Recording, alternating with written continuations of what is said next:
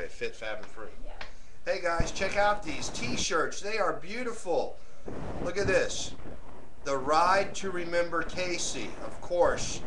Um, not only is this a beautiful t-shirt, well worth every bit of $10, but it's going to to benefit Find a Cure for Cancer. And this particular shirt, of course, it is in memory of Casey, who lost his battle to this horrible, horrible disease. And you can help find a cure for cancer. This is the front.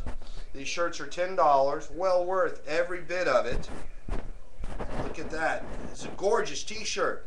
So in case you were wondering, they're definitely worth $10. So if you'd like one of these, you can post in this thread for Fit Fab Free and she'll get you one. So anyways, thanks in advance. Have a great and happy, safe Easter, and we'll see you guys later.